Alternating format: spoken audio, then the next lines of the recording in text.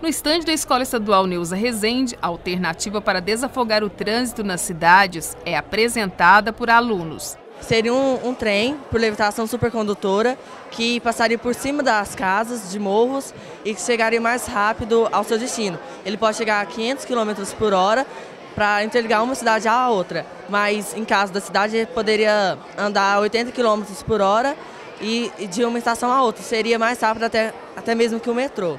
Existente na Alemanha e no Japão, o veículo suspenso e movido a levitação magnética foi pesquisado minuciosamente pelos estudantes e, segundo eles, tem um custo-benefício que vale a pena. Ele é mais barato. A questão, o metrô, ele gasta, ele, o custo dele de implantação por quilômetro é de 100 milhões. Já do maglev cobra não, é de 33 milhões. O trem custa 33 milhões, mas a aplicação é de, de, de alguns bilhões. Mas comparado ao metrô, o metrô tem desgaste, ou seja, precisa trocar trilho, o veículo em si, já o maglev cobra, por não ter atrito, não tem desgaste. Ou seja, o que gasta agora com ele, economiza depois.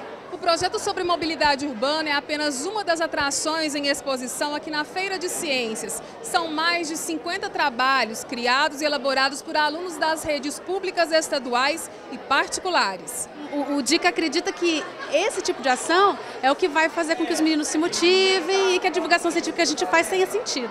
A inovação, a criatividade, o uso do método científico, é, a cooperação em grupo, é, a forma de apresentação dos estandes, enfim, são vários critérios, né? Aqui, cestos feitos em arame ou metal para bueiros funcionam como ralo e prometem solucionar parcialmente o problema das enchentes e inundações já no estande da Escola Municipal do Distrito de Martinésia, um estudo sobre os impactos morais e ambientais causados pela instalação de duas hidrelétricas pode ser fonte de pesquisas e novos projetos. É, é, uma, é um desmatamento muito grande, o percentual de desmatamento é muito grande no local e a gente percebe que se perde muitas espécies de animais também. Além de assim, acabar com uma mata imensa, é, muitos, é, a cultura mesmo é impactada. A tecnologia inspira. Esse aplicativo para celular e notebook, desenvolvido por esse grupo de estudantes, facilita os estudos de questões ligadas ao Enem,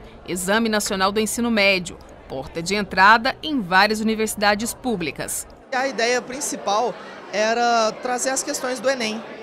E aí foi evoluindo, colocamos as 20 questões de física, que é o projeto inicial, e com isso, os professores e nós mesmos da equipe tivemos a ideia de colocar o conteúdo, que fosse um lugar onde você pode jogar e estudar ao mesmo tempo, caso você tenha uma dúvida, ou então mesmo que é apenas se forçar a matéria para fazer a prova. Ideias que podem e devem ser aplicadas na realidade e contribuem não só para uma cidade, mas para um mundo melhor. Tem protótipos que funcionam.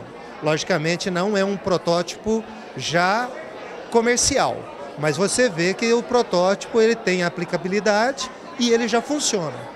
Então, às vezes, falta ali aquele. Não é que falta, é o momento do trabalho é esse. Mas ele pode evolu evoluir através um empreendedorismo né, e chegar a ser realmente um produto comercial.